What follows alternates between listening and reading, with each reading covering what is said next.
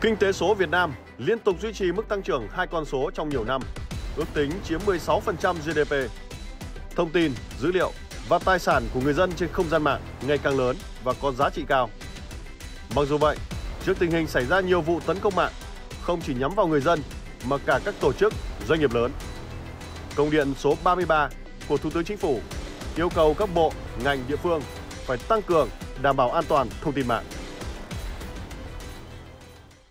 Quý vị, doanh nghiệp tổ chức phải dành nguồn tài chính để đầu tư cho an toàn thông tin như thế nào, đầu tư như thế nào cho hiệu quả. Ngày hôm nay thì chúng tôi có mời tới trường quay anh Trần Minh Quân, chuyên gia đến từ PwC Việt Nam để cùng trao đổi. Xin cảm ơn anh Quân đã dành thời gian để đến với dòng chảy tài chính. Dạ vâng, xin cảm ơn chị Hương ạ.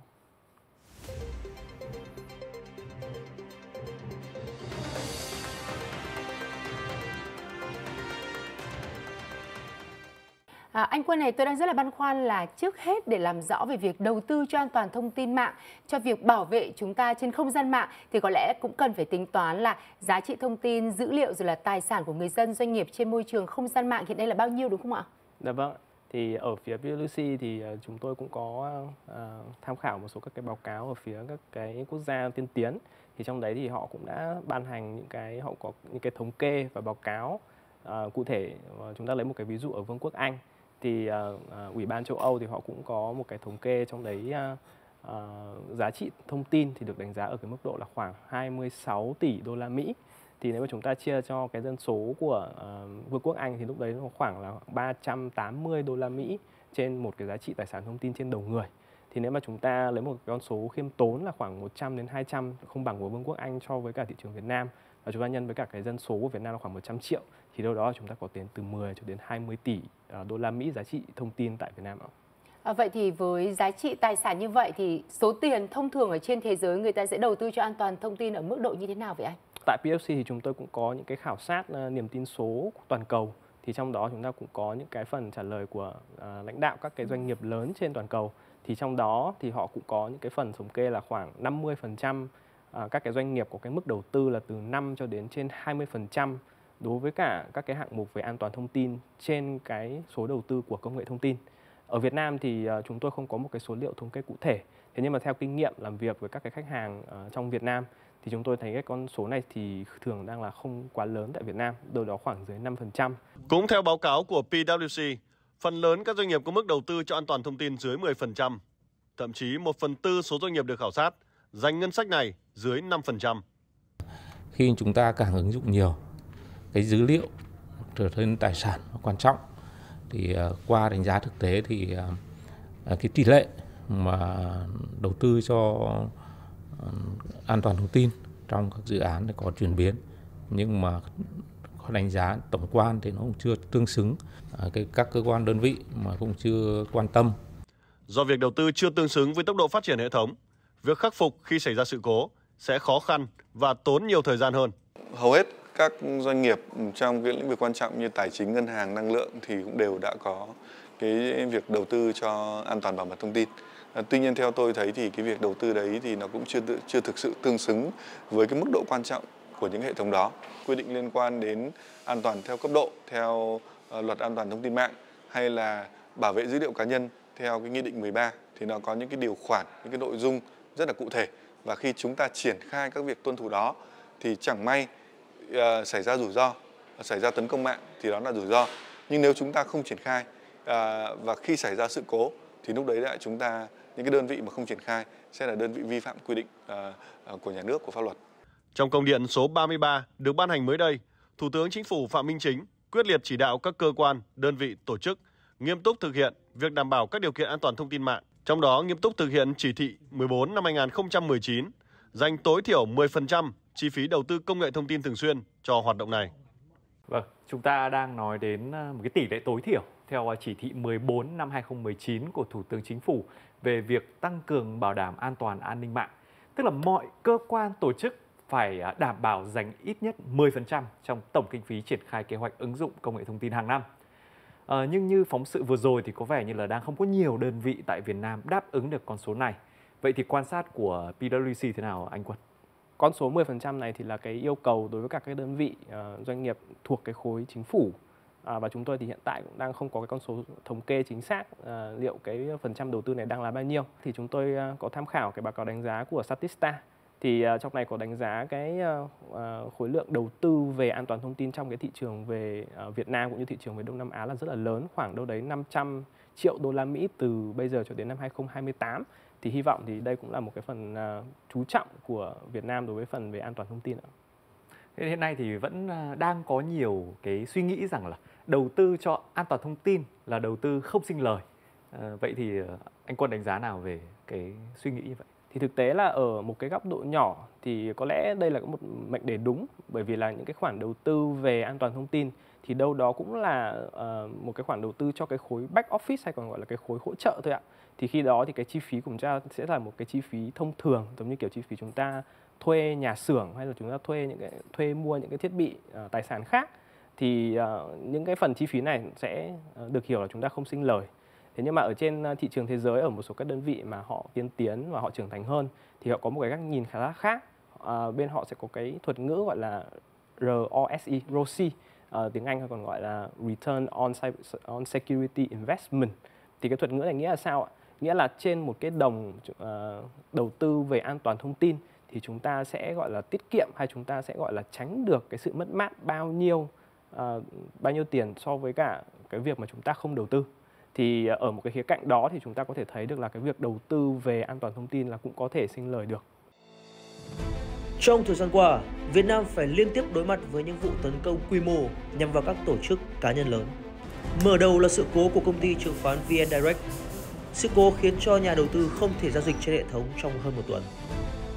Việc mà chúng tôi ờ, phối hợp với các ờ, chuyên gia với cơ quan quản lý để có thể đưa cái hệ thống à, quay trở lại giao dịch thì thực sự là một nỗ lực rất là lớn à, chắc chắn giai đoạn đầu thì nó cần một thời gian để đồng bộ dữ liệu à, cộng với cái việc là cái lượng truy cập rất là lớn trong cái lúc mà mở lại giao dịch thì nó cũng có một số cái tắc nghẽn à, làm chậm ở giai đoạn đầu. À, tuy nhiên thì đến thời điểm này thì về cơ bản cái hệ thống giao dịch đã bắt đầu ổn định. Sau VN Direct đến lượt tổng công ty dầu Việt Nam PV Oil thông báo hệ thống bị mã độc tấn công. Mất hơn một ngày website email ứng dụng thanh toán và hóa đơn điện tử của PV Oil mới có thể hoạt động trở lại. Chúng tôi đã hết sức là khẩn trương tìm kiếm giải pháp thay thế, giải pháp khắc phục Ờ, để có thể là duy trì cái việc xuất hóa đơn điện tử ờ, cho khách hàng một cách liên tục trong giai đoạn trong thời gian mà chúng tôi khắc phục sự cố. Sau vụ tấn công này thì chúng tôi cũng nhận thức được rằng là những biện pháp đấy là chưa đủ.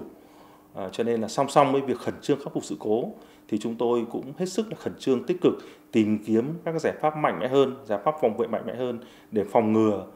uh, các cái cuộc tấn công mạng uh, trong tương lai. Cùng với VN Direct và PVOI, những doanh nghiệp lớn như Tổng công ty Bảo hiểm Bưu điện PTI, Công ty cổ phần thực phẩm Home Food hay những kênh YouTube có lượng theo dõi lớn như Misi Gaming hay Quang Linh Vlog cũng đồng loạt thông báo bị tấn công. Trên thực tế, hình thức tấn công bằng mã độc hay ransomware đã được các tổ chức doanh nghiệp an ninh mạng cảnh báo từ lâu. Bộ Thông tin và Truyền thông cho biết, năm 2023 có tới 83.000 máy tính, máy chủ ghi nhận bị tấn công bởi mã độc mã hóa dữ liệu, tăng 8,4% so với năm 2022.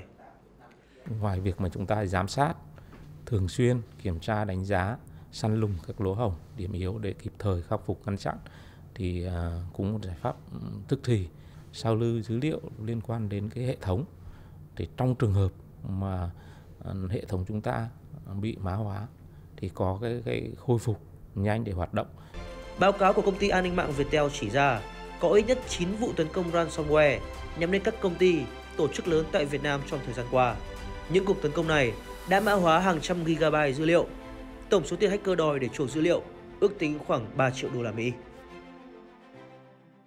À, tôi thì đã băn khoăn liệu rằng là một nguyên nhân khác có phải là do chúng ta chưa có hoạt động báo cáo giám sát rồi là kiểm soát mức đầu tư này ạ? Theo uh, kinh nghiệm của PLC chúng tôi thấy là đa số các doanh nghiệp trong Việt Nam thì hiện tại cũng đang có cái mức độ tuân thủ chưa cao đối với các cái yêu cầu uh, về uh, thông tư và nghị định về an toàn thông tin cũng như là về bảo mật uh, nói chung và uh, cũng cộng với cả những cái yếu tố khác ví dụ như là về nguồn lực về an toàn thông tin tại Việt Nam vẫn còn đang thiếu sót và cái nhận định là cái uh, gọi là cái hiểu biết cũng như là cái sự nhận thức về an toàn thông tin uh, cũng là đang chưa cao đặc biệt là trong uh, người dân Việt Nam cũng như là đối với cả các cái doanh nghiệp nữa.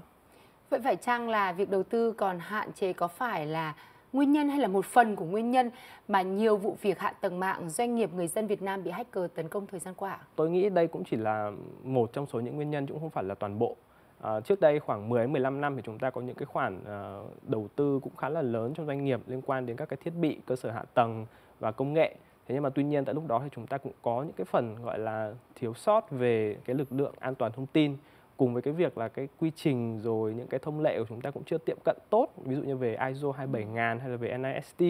thành ra là cái việc mà chúng ta làm chủ và tận dụng tối đa đối với công nghệ thì hiện tại cũng chưa đạt được và ngoài ra là cũng cũng gây ra một cái hiểu lầm là đơn vị chúng ta đang được bảo vệ tối đa bởi vì chúng ta đã trang bị đầy đủ các trang thiết bị. Vậy thì theo anh chúng ta cần phải làm thế nào để có thể gia tăng mức đầu tư cho an toàn thông tin à, trong thời gian tới và bản thân là các doanh nghiệp rồi các tổ chức cần phân bổ như thế nào cho hợp lý để mang lại hiệu quả cho khoản đầu tư này đấy? Dạ vâng. Theo uh, quan điểm của chúng tôi thì uh, uh, các doanh nghiệp thì nên uh, bắt đầu từ cái công cuộc gọi là chúng ta phải quản trị an toàn thông tin và chúng ta nhận diện các cái rủi ro liên quan đến bảo mật và từ đó chúng ta mới có được cái gọi là cái khẩu vị về rủi ro chúng ta chấp nhận được cái ngưỡng chúng ta có thể uh, chịu uh, thiệt hại bao nhiêu rồi từ đó thì chúng ta mới lên được các cái hạng mục chúng ta cần thiết đầu tư cũng như là cái giá trị tương ứng để chúng ta có thể mua sắm được những cái hạng mục đó và bồi đắp cho cái công cuộc gọi là bảo mật cho đơn vị của mình.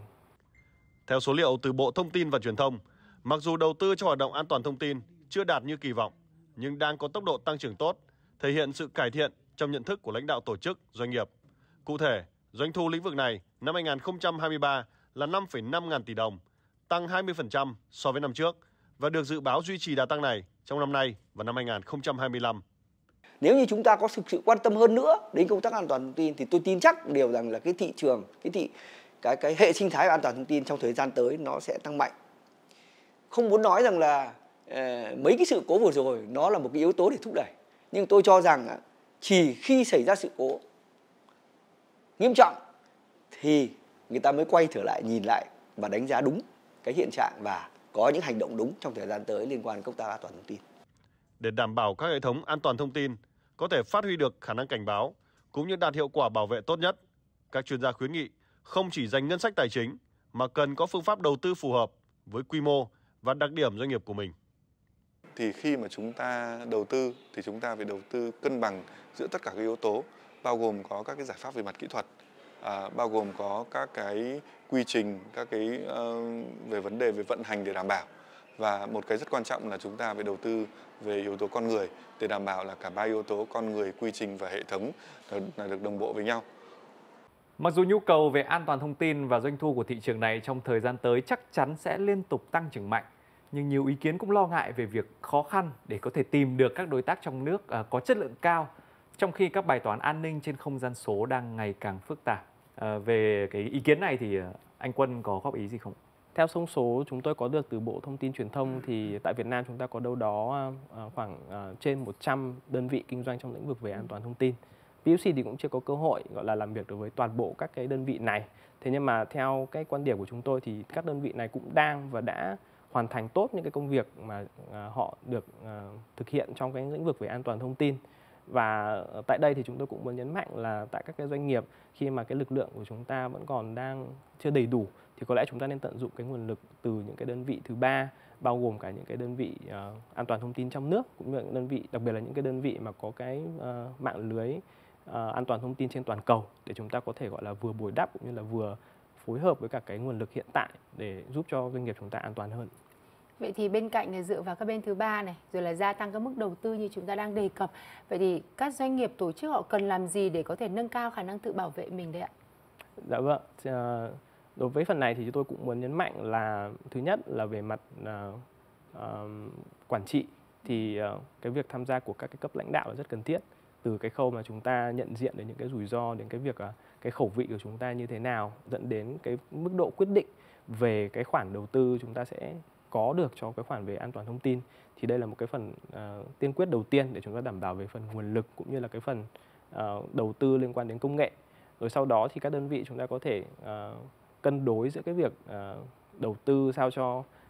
những cái biện pháp về bảo vệ uh, chúng ta đầy đủ rồi những cái biện pháp liên quan đến chúng ta giám sát và phát hiện những cái sự cố về an toàn thông tin chúng ta cũng được đầy đủ. Và cuối cùng là một cái phần mà chúng ta chẳng may mà chúng ta có sự cố xảy ra thì chúng ta cũng có thể khả năng khôi phục một cách nhanh chóng à, thì chúng ta nên có cái sự đầu tư đầy đủ kể cả những khía cạnh về con người về quy trình cũng như là về công nghệ để có thể giúp cho một cái doanh nghiệp chúng ta trở nên an toàn hơn. Vâng, à, một lần nữa xin cảm ơn à, anh Quân đã đến với dòng chảy tài chính và có một cuộc trò chuyện mà giúp chúng tôi có thể hiểu rõ hơn về những cái công việc mà chúng ta cần làm thế nào để có thể bảo vệ chính bản thân mình ở trên không gian mạng. Xin được cảm ơn anh ạ. À, xin cảm ơn chị Hương và chương trình ạ. VPBank vì một Việt Nam thịnh vượng.